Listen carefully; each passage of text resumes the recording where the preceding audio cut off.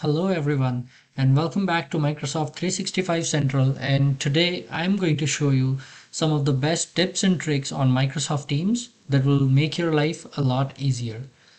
So let's start. The first one and this command I this is my personal favorite and I find this command very useful because it it gets you a lot of analysis and it gives you direct information that you could have um, could have had to search for. So right here, when you are in your desktop application or let's say on your web application on Microsoft Teams, on the top, you'll see the search bar. So you can simply go there and type slash. So this will give you a different bunch of commands here after slash. Let's say we'll start with slash files. So what is this command doing here? So slash files, when you click enter it's going to give you a whole list. Right now I just have one file shared here. So let's say you have shared a lot of documents with one of your colleague and you're trying to find that which are the documents you have recently shared. So when you hit slash files this is going to give you a whole list of all the documents you have worked on or shared. Moving on to trying a new command. Let's try slash and let's say I have a lot of teams. Right now you will be able to see I have just six or seven teams in my environment. But let's say you have more than 50 teams and you have been cruising throughout those teams all day. So you can simply go slash and hit go to. And when you hit go to and space it's going to ask you if you remember a simple name about your team or any word. I'm gonna hit SMT so I just remember that, okay, there is a team named SMT. I'm not able to find it because I have 100 teams in my environment. I can hit slash go to and search for the name and it's going to show me the team. And I click on it, I'm right inside the team. Going back to my origin team here. Okay, so the next command I have here is the pin command. So the pin command does a lot when we talk about pin, you can pin different documents, you can pin different teams, and you can even pin different apps. So first I'm going to start with uh, pinning a team. Let's say I have a team training for new hires team here. And within this team, there is announcement channel here, which I have to go there every day and I have to make new announcements. So what I can do is come here when I see the three dots, I can simply click on these three dots and where it says pin I will click on pin and on the top on the left hand side on the top you will see I have announcements which is pinned right here. So now next time when I come here I don't have to go. Let's say I'm on a different team here. I don't have to go here and search for the announcement. It's gonna stay here on the top. Once I'm done with the work and I don't know I no longer need it I can go back to these three dots and I can simply unpin it from here Moving further, the same pin command, using it with different apps. So the left hand side navigation bar we see here, it has chat, teams, calendar, calls. Same way, these three dots, this is about more functions. So when you click on more, you'll see a bunch of different applications here. So for example, I need PowerPoint most of the time during my day. What I can do is I can right click on that app and I can simply click on pin. So you'll be able to see on my navigation bar on the left hand side, I see PowerPoint right here. So that is going to be a very useful command or very useful option when you're working on different apps and every time you have to go in here and find your app. So the next is going to be our loop components. So any of you who is not aware of the loop components, it's going to be in your chat. If I go in my chat and you'll be able to see I have a chat here with my one of my colleague. So down at the bottom, you'll see a circle or kind of O which says loop components. So when you click on this loop components, you'll see a lot of different options and what I'm going to do is I'm going to create a task list because I have different tasks in common assigned to both of us. So what I'm going to do is rather than making those small calls or every time chatting about those tasks, I'm just going to simply create a task list. So when I click on the task list, I'm going to create the task. It's going to say train new employee and I'm going to assign it to you can simply type at and you'll be able to see the users. I'm going to assign it to my colleague here and you can select what date it's due. So you can go here and let's say it's due by Friday. Same way I can add assign assign another task and the next task will be sprint to meeting agenda. And again I'm gonna assign that to myself let's say. And the date for this one is gonna be Thursday. And same way I can add more task here if I want to and then simply I can send it from here. So within the chat this will be live and once I'm done with my task I can simply click here and I can mark my task as completed. Same way my colleague can come here and he can task he can complete his task. Same way we can add more task here and this will save us a lot of time and a lot of those quick calls which which were which might have been needed for completing these tasks. So this is a very useful feature. You will find it at the bottom which says loop components and you can create it from here moving on to the next trick here is I find this one very useful in the cases, let's say when I am here on any of the team, let's say I am on the stock apps team and I'm in files here. Oh, I don't have any files here, let's say.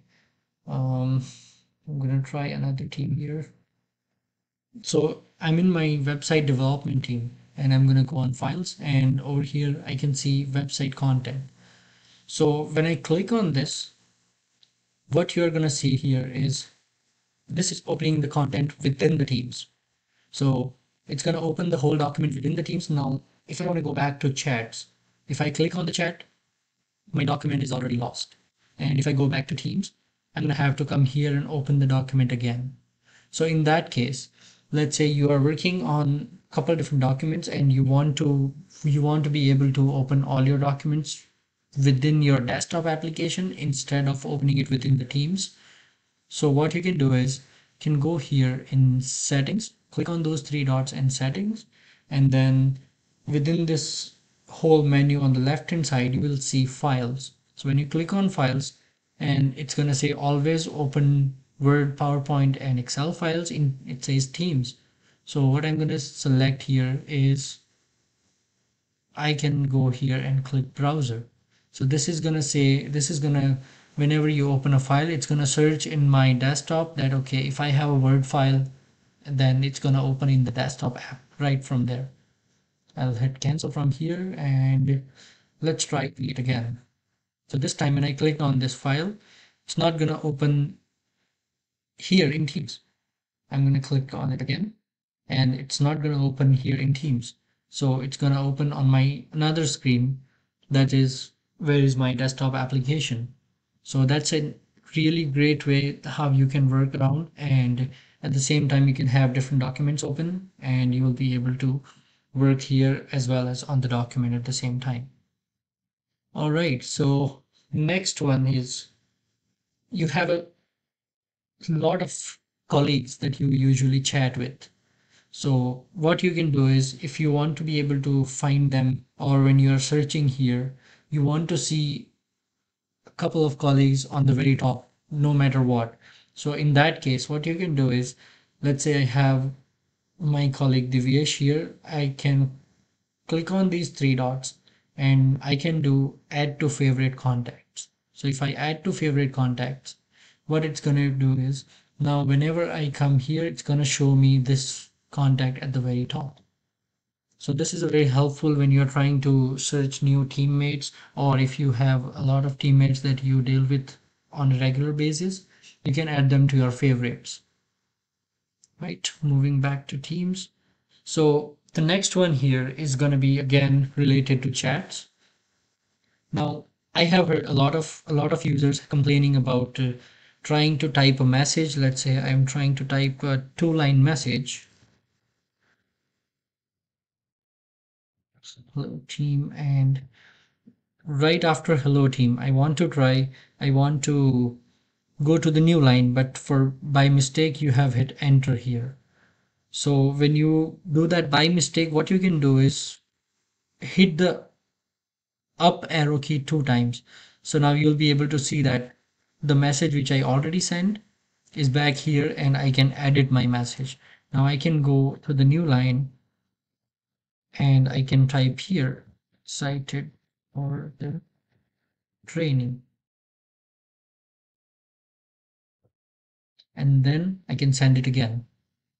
So you'll be able to see my message which I initially sent was edited and now it's just the same message but it's edited so same way I'm going to show it again.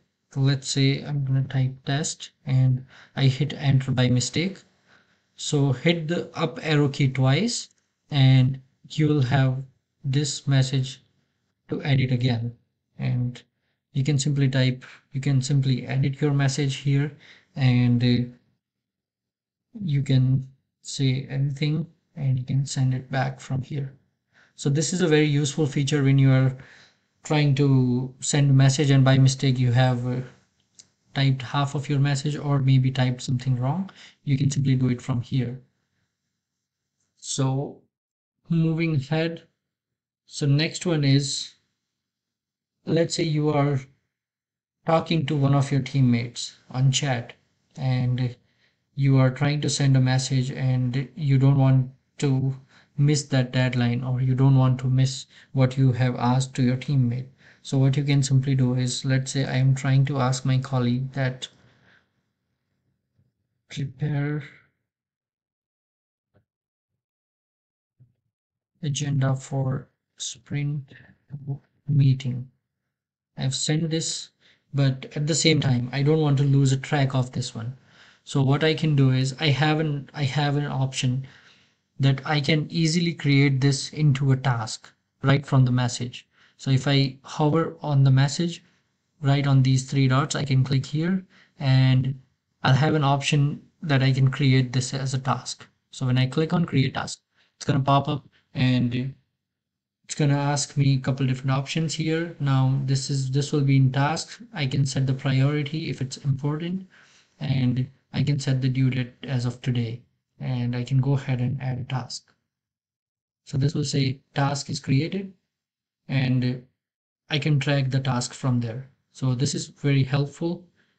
Again, when you are in a chat with someone, so the next tip is going to be really helpful when you are in a chat with someone and you have had a very important discussion that you don't want to lose. So what you can do is you can come here, hover over any of the message click on these three dots and you can simply go and select share to Outlook. So when I do this, it's going to pop up and it's going to bring my Outlook where I can send the whole chat as an attachment or the whole chat directly in the message body directly to someone whom I want to send it. So let's say I have the Microsoft Teams message here and I want to send it to Mike, one of my colleagues. So I'm going to send it to Mike. And if I click send from here, this is going to send the whole conversation to my colleague Mike. So this is going to be a very useful option here.